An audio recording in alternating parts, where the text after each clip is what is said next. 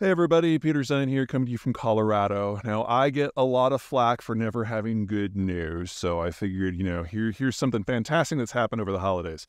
Uh, there's an organization called SunZia, which is a company that produces and transmits electricity, that has uh, closed funding and started construction on what will be the largest green tech power generation system in the hemisphere, uh, 3.5 gigawatts, which in electrical terms is huge.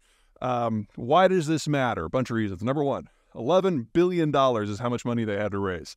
Raising money these days is difficult uh, because the baby boomers are majority retired.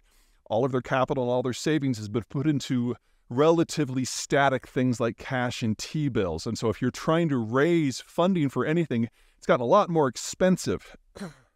Uh, in addition, unlike if you were to build, say, a natural gas power plant or anything that's fossil fuel based, uh, with those systems, fossil fuels, only about one fifth the cost of your of your full life cycle cost for your facility has to be raised at the front end to pay for construction.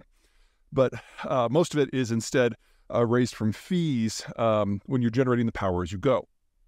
Instead, with green tech, two thirds of the cost is up front because there's no fuel cost, but the upfront cost is much higher. So you're talking about two thirds of the total value of the entire life cycle of the project has to be raised before day one.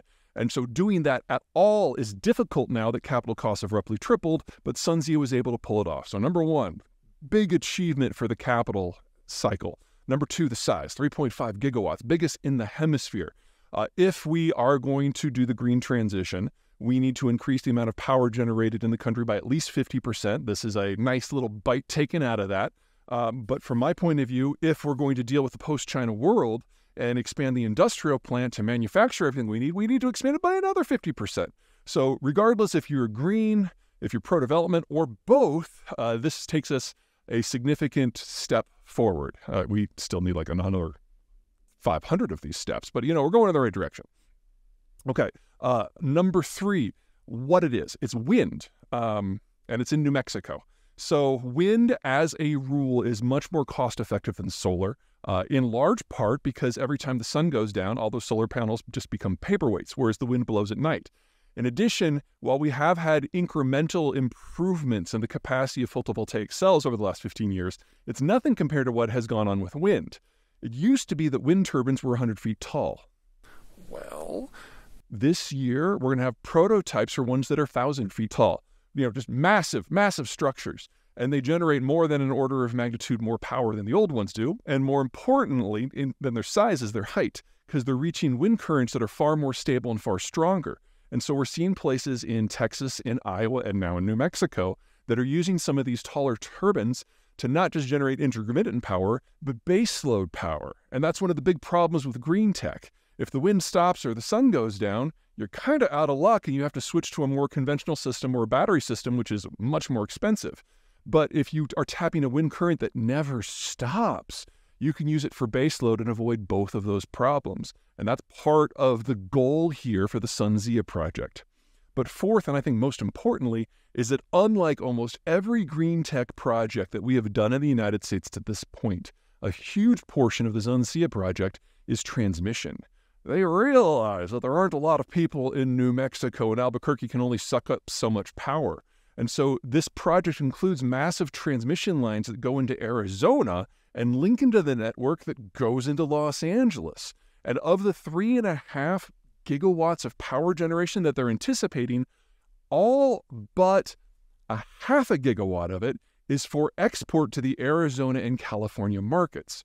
And the fact that this taps into the LA market is beyond awesome. Um, I don't know how many of you have heard of California but uh, doing business there is almost impossible. Electricity demand is hardly encouraged, but in many ways, electricity generation is flat out illegal. Uh, a very heavy regulatory environment. The state uh, is also very power hungry, and they import about a third of their electricity because they've made it very difficult for producers to operate in their home state. Uh, Arizona is by far the single largest supplier they have. Uh, and every night when the sun goes down and all those panels that Californians built stop working, 10 gigawatts of fossil fuel power comes from Arizona across the border, flooding into the LA zone. The uh, SunZia project will now be able to put roughly 3 gigawatts of power into that network. It doesn't solve it at a stroke, but it's a much more sustainable program from an environmental point of view than anything that we have right now. So, you know, great step forward.